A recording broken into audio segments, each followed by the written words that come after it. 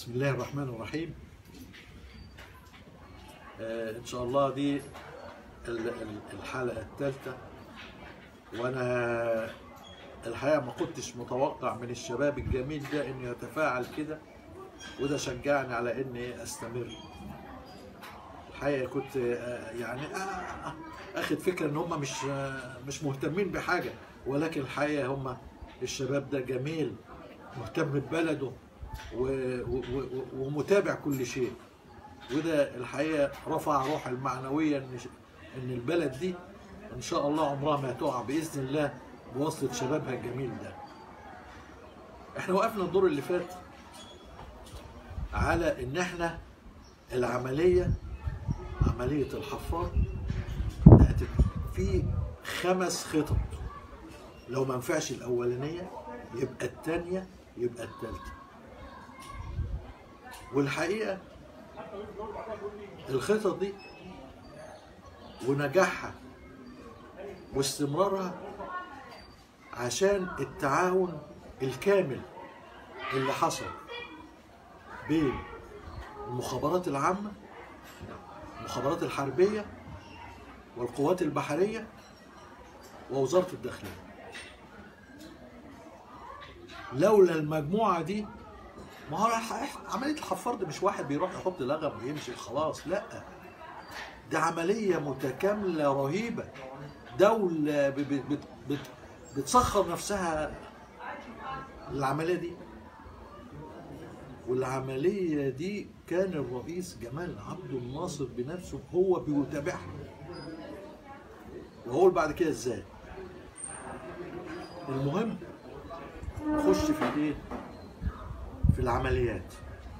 العملية الأولى اللي هي العملية الروتينية اللي هي الضفادع أو القوة بتركب عربية وتتجه إلى الميناء ومعهم الألغام ومعهم ال- ال- اللبس بتاعها ومعهم حاجات وينزل المية ويروح يركب اللغم ويرجع مكان اللي نزل منه والعربية تلتقطها والسلام عليكم وتمشي ولا كأن الكلام ده بي بي بيتنفذ نص الليل يعني ولا ولا حد هنا. طب دي دي دي أول حاجة. طب تاني حاجة لو ما نفعتش. لو ما نفعش يبقى في الحالة دي كان في نية إن إحنا نستدعي آه، مركب صيد من اعالي البحار ويركب فيه الضفادع ونتابع الحفار باللاسلكي وأول ما يقف في المينا الضفادع تنزل وتركب اللغم وترجع تاني. ده الخطة الثانية طب الخطة الثالثه قال ممكن إن إحنا نأجر يخت ونعمل عليه حفلة صاخبة ونعزم فيه جميع ما نع- نعرفهم يعني من ال- الموجودين. والضفادع تخش معاهم ويبقى حفله ويستمروا في الحفلة دي لنص الليل. وبعدين في وسط الهيصة دي وطبعا الناس بقى فيها شرب وفيها بتاع يعني. بس الضفادع ما بتشربش يعني بس عشان ما حدش مخه يروح بعيد. وإيه؟ ننزل المية ونهاجم الحفار. ونرجع تاني وناخد اليخت على الله طب لما ما ينفعش؟ يبقى الخطة اللي بعد كده اللي هي إيه بقى؟ اللي هي إن إحنا آه لو الحفار العلم يعني الحفار ده إحنا بنتابعه من كام شهر. يعني قبل كده رحنا نيجيريا واستنيناه وجو ما قعدش وقعدنا أسبوع مستنيين وللأسف الشديد رجعنا من ما نقدر نعمل. يعني مش مش سهل مش سهل المهم الخطة اللي بعد كده ممكن إن إحنا نسيبه يخش البحر الأحمر ونطلع عليه بالزودياك طبعا الزودياك يمكن الناس ما يعرفش الزودياك ده إيه؟ الزودياك ده اللي هو إيه المخ... المطاط اللي بتشوفيه في التلفزيون لما يجي حفلات كده بالقوات البحرية ومحطوط عليه ال- السلاح بتاعه. ده الزودياك اللي هو قائد المطاط والتسليح بال RPG وال RPG ده الضفادع الصاعقة البحرية متمرنين عليه كويس جدا جدا ويجيد التصوير. كل ده ما ينفعش. يبقى آخر حاجة نضربه بطيارة كانوا عاوزين تكون في عدن ودي الحل الأخير. طيب. الحمد لله يعني آه، هي العملية تمت بالخطة الأولى. السهلة هي الظروف كده. الحفاظ بقى في واقف خلاص إيه طب ده واقف مع ننزل على طول نخلص عليه. ده المهم. دي كانت الخطط الخمسة. لضرب الحفار طيب ال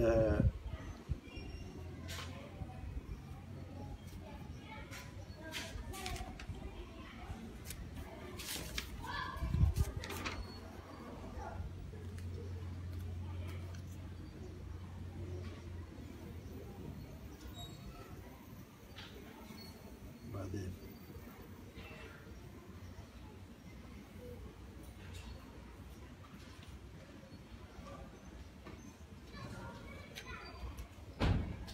نيجي المعلومات.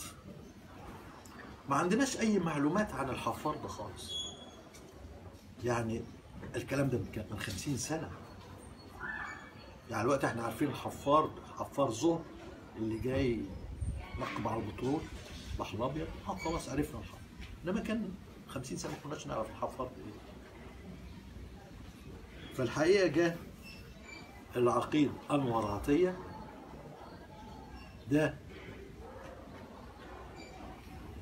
آه، ده كان ضابط في الفضاء البشرية وأعير للمخابرات الحربية.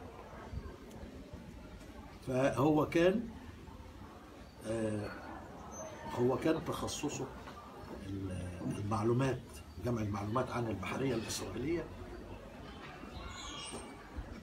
في المخابرات الحربية فرع المعلومات. طيب. عاوزين نجيب المعلومات فقال لازم نروح آه، هيئة البترول.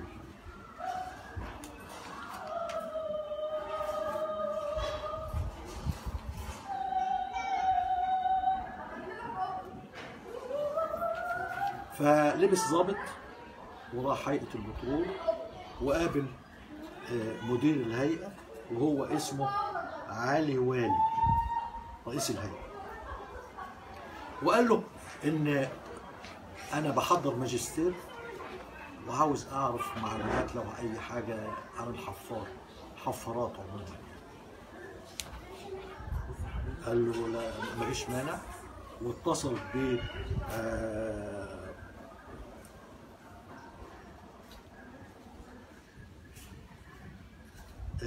اتصل بمدير شركة إسو وقال له في هنبعت لك واحد إن شاء الله تديله معلومات عن الحفار وكان مدير شركة إسو ده آه، يحمل الجنسية الأمريكية.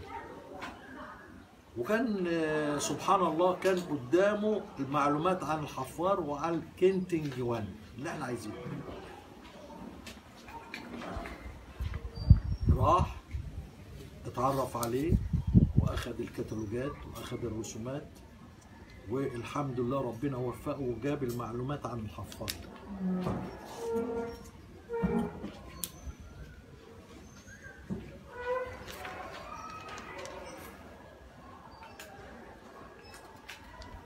نيجي بعد كده لمعلومة مهمة بقى. اختيار اختيار الرجال.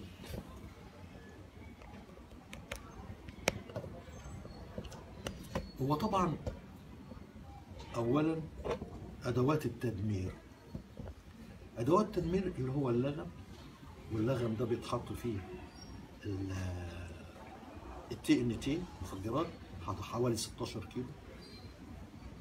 و آه، بالقوات البحرية طورته وعملت له ساعة توقيت ودي مهمة جدا. هنعرف بعد كده اهميتها إيه بحيث إن آه، بنظبط ساعة توقيت دي عشان نظبطها ساعتين ثلاثة أربعة خمسة. مش معقول إن إيه نحط لغم مش عارفين هيضرب إمتى لا ده في كلها كلها حاجات محسوبة كلها خطط رغم من ال- ال- رغم من اللغم ده رغ- رغم موجود في البحرية من زمان وماهوش حاجات حديثة. لا إحنا حدثناه وعشان إحنا كان امكانياتنا ضعيفة جدا جدا ولكن كنا أي حاجة أي حاجة نقدر نطورها بنطورها. فطوروها وعملوا لها ساعة قاط عشان خاطر يبقى نعرف المعات اللي هتضرب فيه الساعة. طيب.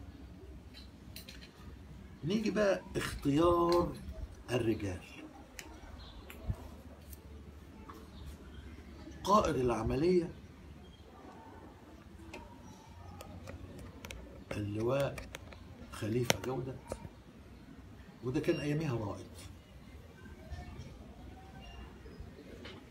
مش عايز أقول إن الراجل ده راجل وطني يحب بلده يضحي بأي شيء عشان تتنفذ العملية. فراح له أنور عطية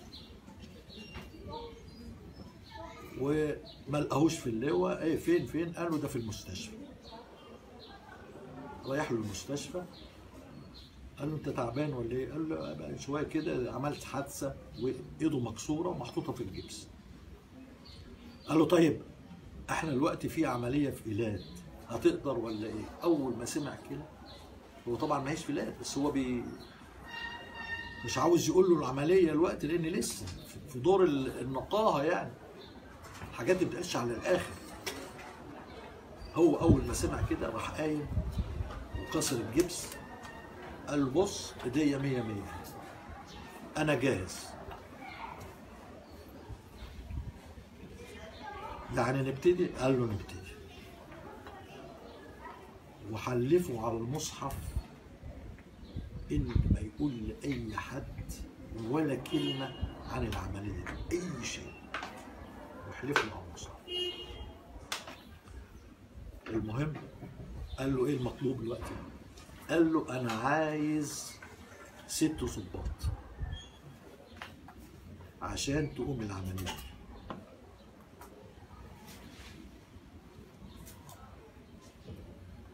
قال له ماشي. راح متصل بقائد القوات البحرية اللواء محمود فهمي عبد الرحمن.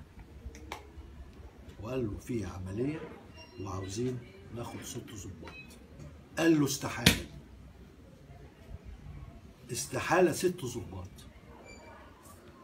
ده إحنا كل اللي عندنا ضفادع بشرية هجومية. عارفين دي قلنا من الأول الضفادع البشرية الهجومية على أعلى مستوى في العالم. إحنا كل عندنا عشرة. يعني لو حصل لا قدر الله وفيه الستة دول راحوا يبقى يبقى مصيبة كبيرة لأن الضابط بمدمرة يدمر مدمر. فإزاي اتخلص ستة؟ قال له طب العمل إيه؟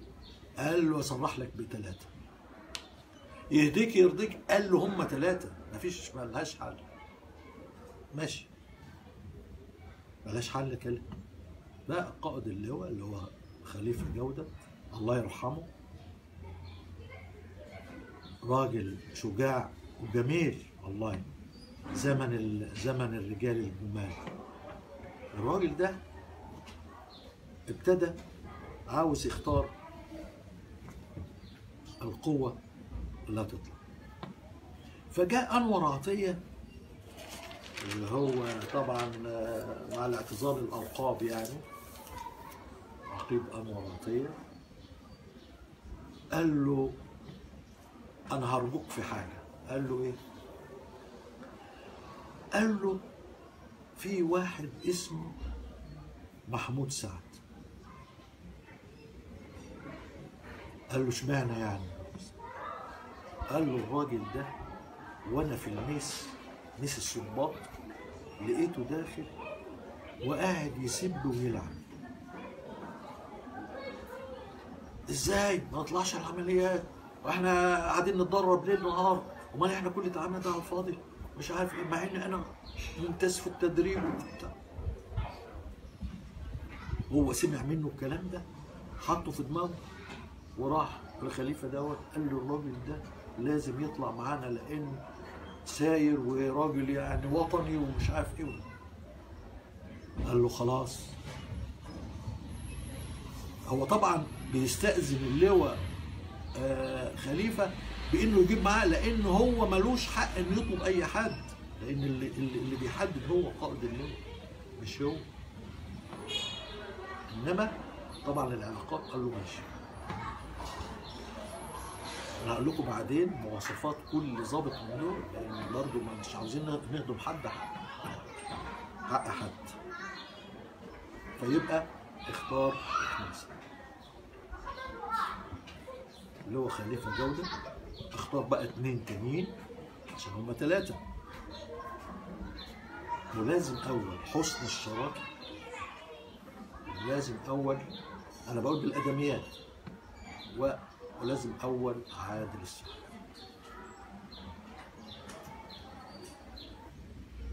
بقت كده تتكون الثلاث ظباط اللي هيقوم بالعمل.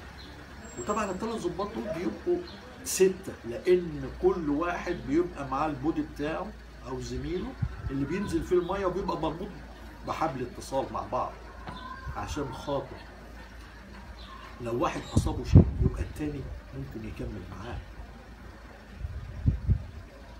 فيبقى كده اتكمل ست ست أفراد.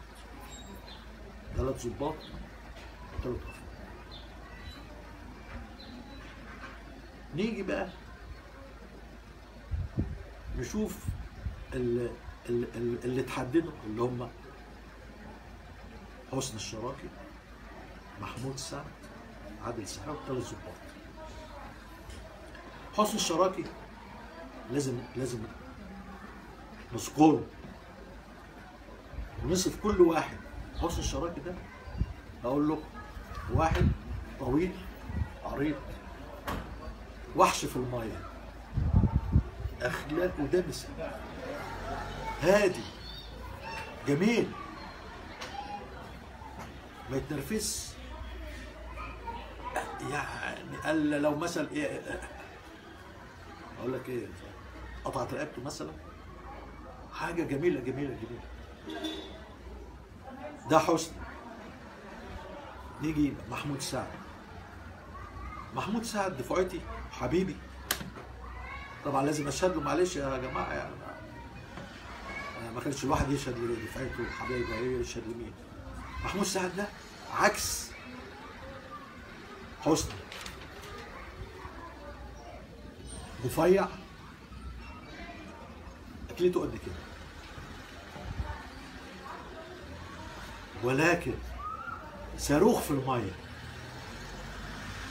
بنقعد ننهج كده عشان نحصله. لأن هي طبيعة جسمه رفيع كده وما شاء الله يبقى مش باين في المية. وبس هقول لكم على عيب عشان الشباب تعرف إحنا بنتكلم كده مش بنتسلى لأ. دروس مستفادة. محمود سعد ده عيبه شرب السجاير. لسه أنا مكلمه امبارح. يقول لي عادل أنا خدت علقة جامدة. قلت له إيه يا خير يا محمود قال لي الرئه تعبت من السجاير.